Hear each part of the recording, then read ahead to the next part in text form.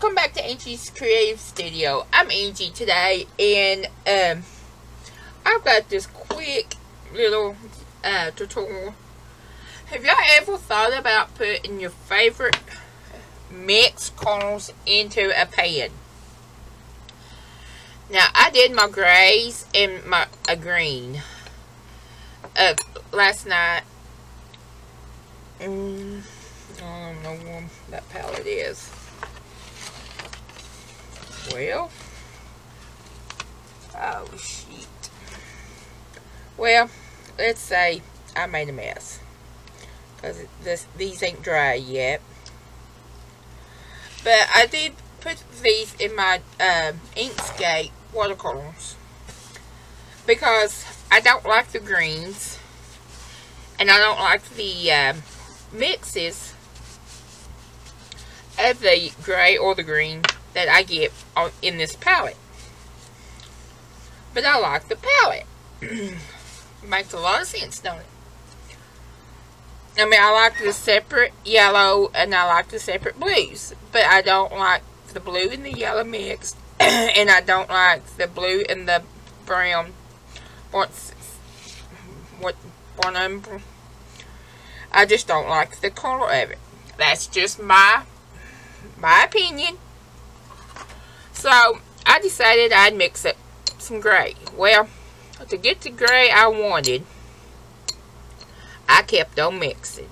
I winded up with five pans of gray and two, one and a half pans of green.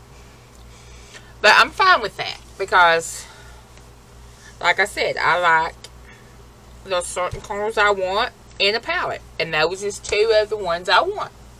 I use, I mix those a lot. And I'm thinking, why am I mixing this all the time? When I can just make a big a batch and put it in an extra pan and stick it in a pal my palette. So, today we're making purple. I'm using um, Master Touch Fine Art Studio Premium Watercolor Ultramarine Blue and um, Deep Crimson Linseum Red, whatever you want to call it. And uh, hopefully I don't make five big old a big old pile of it like I did last night.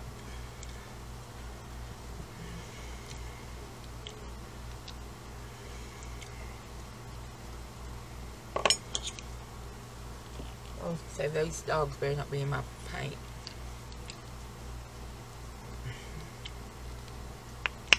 Now I'm just going to mix these up. Then we'll test them. That's why I kept on mixing last night with the gray. And I am just using a, a glass plate to do this. And a knife. And you can tell the knife's been through a lot. And I'm just going to mix this up really, really good.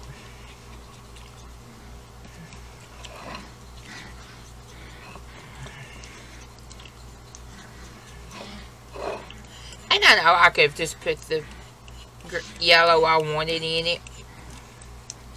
And I'm, I'm liable to do that eventually.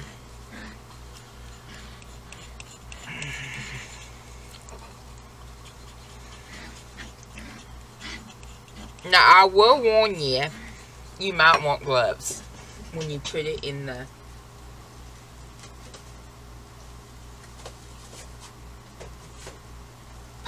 because it does kind of get messy. Or it does on me.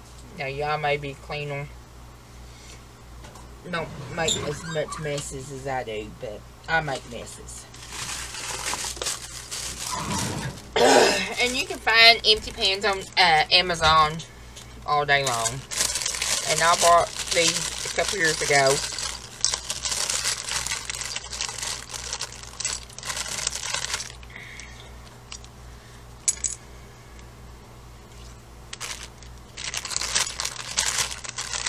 of my palettes is magnet, so I'm going to. And I'll probably make enough, probably made enough for two, pal two pens.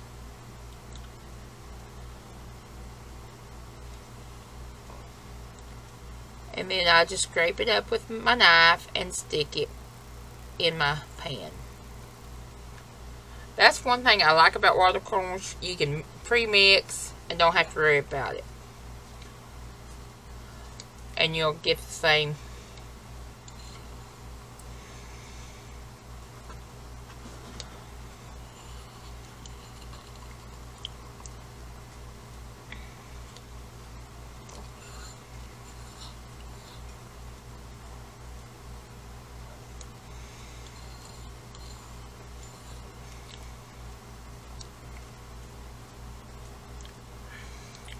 Okay, I got about a pan and and a half.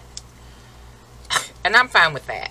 Because that will take me forever to use.